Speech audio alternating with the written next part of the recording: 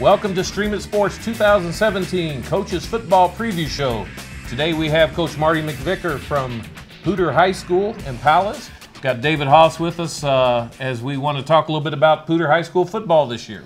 Well, coach McVicker, now this is just a few years into your tenure as a head coach, but you've been at Poudre a long time. I have. I've been an assistant for 25 years under Coach Yonker Coach Bradley and then Coach Reardon for his last two years, and then I took over for, for Coach Reardon when he left. Yep, and you see a lot of the staffs in town where you do have longevity, yeah. and it is a great thing to know the guys you're going to go to work with and uh, pretty much go to war with every fall. Every fall, and it's the same way at Fort Collins High School. Rocky Mountain, Coach Brooks had his staff for a long, long time and Coach Bigelow's big, building a staff over there at Fossil Ridge too. So well, let's really do a little nice do a quick recap of your of your 2016 season, and let's just talk about you know how that carries into this year. You bet. So we ended up five and five, which is the first time we've been at, at least 500 since 2008. So we've gotten a little bit better each of the three years that I've been there. Last year we had two games, one against Fossil Ridge that we lost in overtime, and one that we lost on the last play of the game versus Lakewood 35 30 33. We went for two and didn't make it. So those two games, if we could have picked those two games up, I believe that we would have been a playoff team last year. So, so how many returning starters do you have in Letterman? We have six returning starters on offense and seven on D, and then returning Letterman 18 to 20. So pretty senior dominated team this year. I well, feel like we're kind of in the similar situation that Fossil was last year. Well, as you look at the players, we are talking before the interview. Um, you know, you've got one individual, young man, hurt his knee last year, missed his whole year. This is going to be his year as a senior. Troy McFadden. Yep, our quarterback hurt his knee in the second game. We were ahead. We won our first game against Douglas County, and we were ahead 17 to seven in the second quarter when uh, Troy tore his ACL, and um, you know, just we didn't really rebound that well from that game. And then fortunately last year we had James Campbell who had a lot of experience mm-hmm. and we were able to insert him.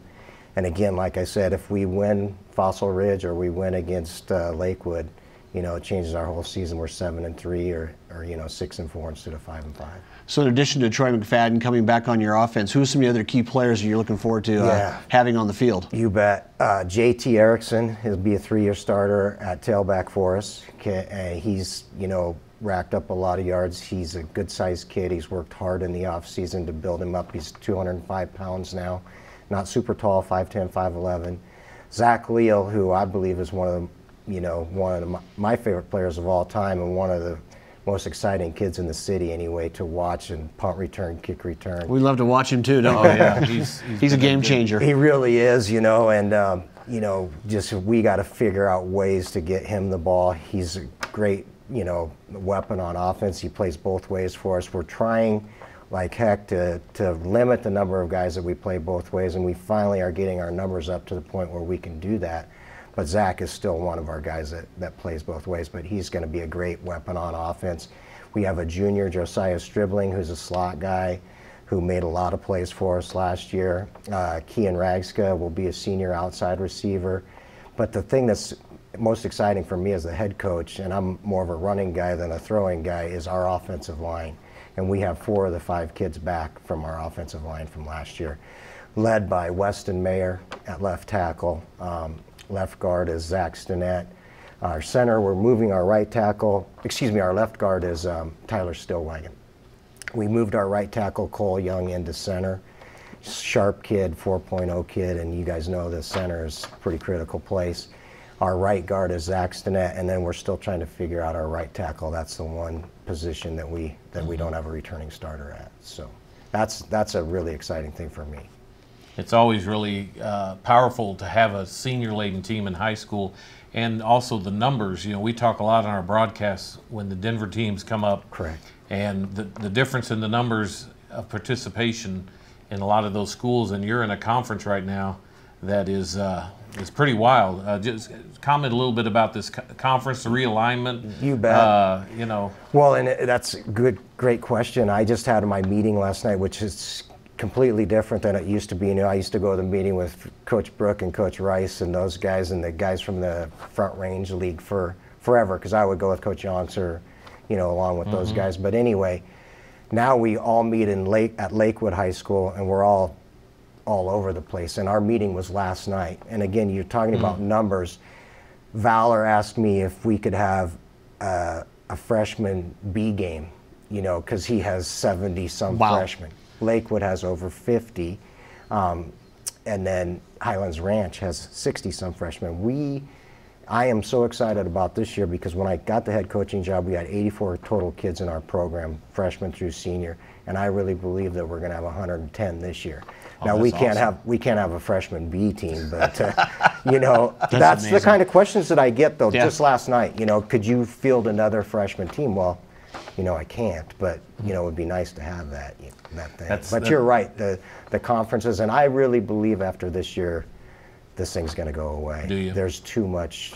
There's too much. Nobody's trouble. happy with this, are they? Really? One team, Eaglecrest, is the only only team that I know of that's even even the teams that really wanted it, like Cherry Creek and Valor and Pomona and all those teams out in Jeffco. They they don't think it's a good thing anymore. So. Well, when we, the schedules came out last year, and it'd be just the flip side this year, but the distances you've got to drive, um, the furthest away from any 5A school in the state you're going. I mean, Fountain Fort Carson. yeah, uh, it's just it's the front range. If you're looking just the front range, Right. nobody could drive further, and they got and they got to make the trip back. I mean, so that that's tough on a kid too. That's a different. They're, they're, that's a whole day. It is a tough thing, and you know, uh, a lot and a lot. Fountain Fort Carson, fortunately, has their own field, but a lot of our schools are just like are just like French Field, where they share it with three or four different. We play our second game of the season versus Mountain Vista at eight o'clock on a Thursday night at Shea Stadium down in Highlands Ranch, and their coach came right out and told me last night. He said, you know, if we start at eight, we'll be lucky because there's a soccer game before us, so it might be 8:30, 8:45, and then we have school the next day. So that's Just- a, that's a just- tough one. For the broadcaster, it's been good though because we've got to see a lot of teams. I agree. That we would not normally I see. got to meet some new coaches that I would Yeah. like the the coaches in my league in the Mountain Lincoln League. Coach Sherman from Valor, quality guy. Coach Robinson from Highlands Ranch, I like him a lot. Coach Braun from Lakewood, um, he's been there forever. He was at Mullen for a long time. The Fountain Fort Carson guy's just like me. He's young, or not. I'm not young. I shouldn't say that. I We got weren't going to let that go. He's in his fourth year as well as a head coach. and, Young as uh, a head coach. Yes, correct. and uh, you know, it's just been it's been fun. I met Monty Thielen, kind of got to know him a little bit. He had been at Cherokee Trail forever, and now he's at Legend, and they're in our conference as well. Mm-hmm. So, but I really think after talking to these guys last night that this is, you know, Gates, you know, rivalries, you know, Yeah, uh, it's- you know, it's just gone away. They've lost all that. Well, speaking of some of those rivalries here, you know, about your kids you got back on offense, let's quickly get back and do some of your defense. Then we'd kind of like to go to the other teams, how you perceive the uh, the local schools and, and this year going. You bet.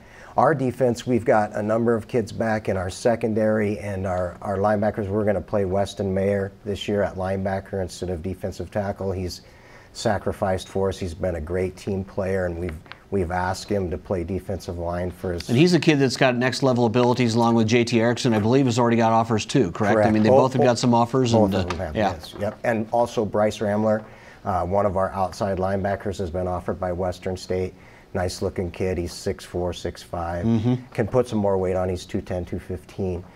But um, yeah, so we're excited about those kids. Our interior line are smaller guys and, and juniors that haven't that don't have much experience, but uh, we gained so much experience at CSU Pueblo. We got so many quality reps down there. It was it was a great camp, and we learned a lot about those young guys inside too. So And we've we've seen some pretty good specials coming off of your squad too. You know, uh, you Braxton Davis now kicking for the Rams. Right. Um, how do you think your punting and kicking will be this year? that's a that's a, such a huge question mark for us, and that you know as well as I do, it's a third of the game, and it's probably as important as anything else. And we've had Braxton Davis and Austin Davis. We've had the Davis. That's right. I forgot about Austin. Yeah. for six years, six straight years kicking and punting for us. So those are two positions that we're really going to have to work on, and, and we have some younger kids that we're working on and that we're hoping to develop this fall. So, but yeah, it's critical for us. And we, we talk a lot about, you know, the public schools, there's no recruiting.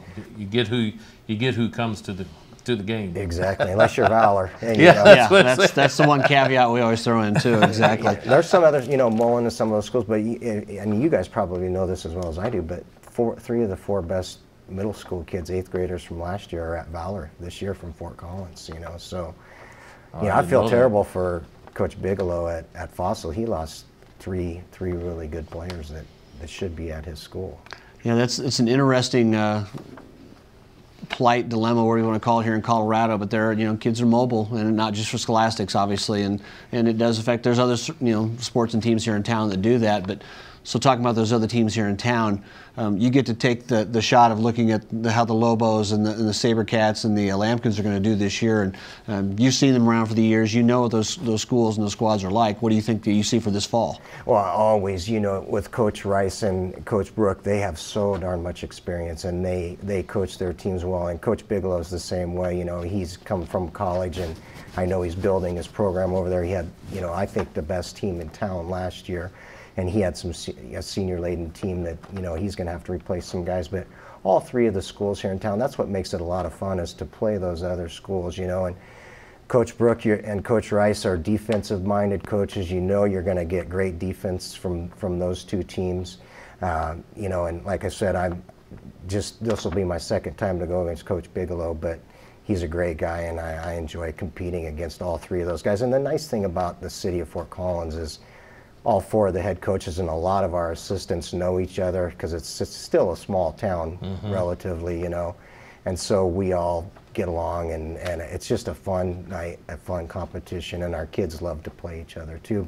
I know they're all three going to be good, so it'll all be fun those three nights. And the nice thing about it now is we just go right back to back to back with them. So yeah, it's a fun yeah. three weeks, fun month. That's one of the differences with realignment. It, those those aren't the end of the year games, which frankly we kind of miss. You know that little, sure. you know you get some build up to it. You know maybe a little bit more on the table as far as the stakes go, the right. winners and losers, but uh, there's no less passion. No, no, and like you said, the last time that Poudre was even relevant was 2008, and we went into the Rocky game, which I believe was the eighth game of the season, and we were both seven and zero. Oh, and you know they had to bring in extra stands for for the game and uh, it was a great game. Rocky beat us 14 to 0, you know, and both of us advanced that year in the playoffs. We went to the final four, they went to the final eight, you know, so you're right. Some of that stuff like that. And that's again why I believe that the state's going to look at this and and reverse it to some, I don't know what they'll do for sure yet, but I know I don't think it's going to be the same format yeah. that it is yeah. now. I can't imagine that they're selling the amount of tickets they're for not. live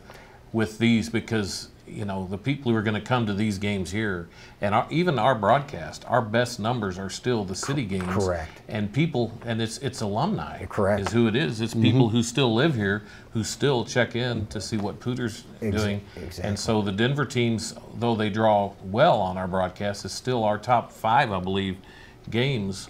Are we're still the city we're still the city yeah. games. and i don't doubt it. And that's why Pomona and those school districts, they lost a ton of money at their gate at the Jeffco gates last year, and that's why they're looking at going back to you know something that's. Yeah. I, I don't know again what it will be, but I believe it'll be more of a you know geographical thing, so to speak. Yeah. So. That's good. Uh, besides the wins and losses, what is it that you hope to really uh, uh, inspire your kids with or your players and stuff? Not just wins and losses, but what, what where do you want them to be at the end of this season as, as far as just people and, and students and different things? That's a great question. We are implementing a thing, and I'm really excited about this. It's the first time that we're doing it, but we're uh, teaming with Champ. And we're going to do, um, we've already started to do it this summer. We bought uh, a curriculum out of Texas that was put together by Texas high school football coaches. Hmm. They're not we, really into football in Texas, are they? High holy school? cow! We I just went to a champ thing this weekend. That were you were you at the? No, couldn't make. It, I was gone. Anyway, a high school coach from Texas, from the, the Dallas area, and I, I'm, I'm drawing a blank with his name, came to speak to us about character and stuff. And he has a losing record. He's made the playoffs five times in 25 years, and he said every other coach would have been fired probably at this point with him. But he's in a school that is um, free and reduced, kind of a rough mm-hmm. area, and so he teaches character, character, character, character, and that's exactly what we're going to try and do this year. We started with four lessons this summer during our uh, summer workouts, and we're going to carry. We, like I said, we, there's a book that goes along with it, and we're trying to teach the kids character. A lot of our kids at Poudre um, are from single-family parents. You know, one mm-hmm. either mom or dad, usually mother and so we're trying to teach a lot of these kids how to be a man. Mm-hmm. So the wins and losses, they're great, but that doesn't keep The me wins are great. The- excuse me. Yeah, I should say. the wins are great. The losses aren't much fun. They're a lot harder as a head coach too. But Oh, I bet. um, but yeah, you're right. The um, the character piece, trying to teach these kids, you know, how to become young men and how to treat people, and you know, again, we and I know other schools struggle with it too, but just grades. We're we're on our guys about grades all the time, each and every week, and you see it. You'll you'll you guys know you'll see a kid that's missing for a week, and it's because of academics. It's not anything else. Well, and you get a chance as a coach, and, and you know, as parents, and all of us have been on all sides of that, and even back way back in the day when we were on a field.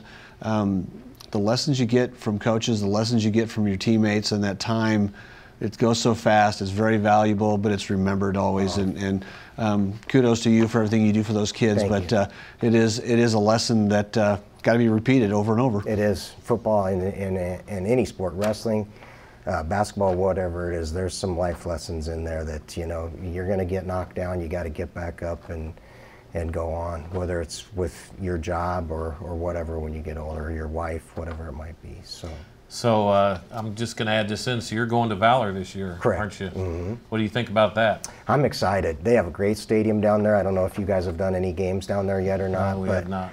Uh, I've been down there with my boys for wrestling at Valor in the wintertime. They have their on-campus stadium. It's beautiful. They're actually, I believe, building like a sports, uh, like almost a field house.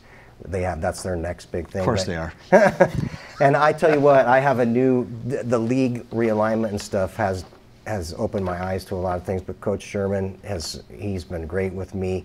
Um, you would be surprised. I, I think you guys would like him as well. And I'm excited to go to Valor. You know, we our kids are. It's a great experience. They've been the state champion seven or eight years, seven out of eight years, or eight out of nine. And went from 4A to 5A flawlessly. Correctly, Really. yeah. I Yeah. mean, Yeah. Wasn't They- even a. So t- tell us, we've got, I know we've got uh, a couple of, uh, I think three home games, four home games. Tell us uh, couple of home games that you've got circled that uh, You you're bet. Well, forward to. obviously, right out, the, right off the, sh- you know, we play Douglas County first, which will be that's a. I'm excited just to get going. We play a zero Mm-hmm. Yeah, you're, you're right off the bat this we year. really are. Yeah, We're our first broadcast. great. We are two weeks from Friday is our first game Mm-hmm. um, against Douglas County. Then, like I was telling you, we go to Mountain Vista for that 8, 8:30, 9 o'clock Yes. uh, Thursday night game. But then we come home to play Fort Collins on a Thursday night, which I love playing Fort Collins High School. Uh, then we play uh, Fossil and Rocky. So those three games right in a row. And then by playing that zero week game, we draw a bye after our game with Rocky. So we have a, uh, a week off, and then we go into league play, which our first game is Fountain Fort Carson, which is the travel, the long trip game. So And you've got Lakewood as well, don't you? Lakewood and Legend here at home. Yep, Yep. Lakewood would be. We'll play Fountain Fort Carson our first league game after our bye. Then we come home for two. Uh, first one's against Legend High School, then Lakewood, and then we go to Valor, and then our we finish up at Highland. That's a nice little run, isn't it? It is. And our league last year, you know, if you look at the PowerPoints and everything, our league was the number one league in the state. We had uh, Valor and Highlands Ranch both in the top seven teams. So it's a it's a tough league. It's a challenge for sure, but um, you know, I think we're up for If it. you're gonna Yeah, if you're gonna play, you might as well play at the, the best, huh? exactly, exactly. That's great. So Well, thank you so much, Thank Coach you. McVicker. It's been a pleasure to speak with you. And uh, this is Randy McCoy and David Haase, Coach McVicker, and we will see you next time. all right, thank you guys. Mhm.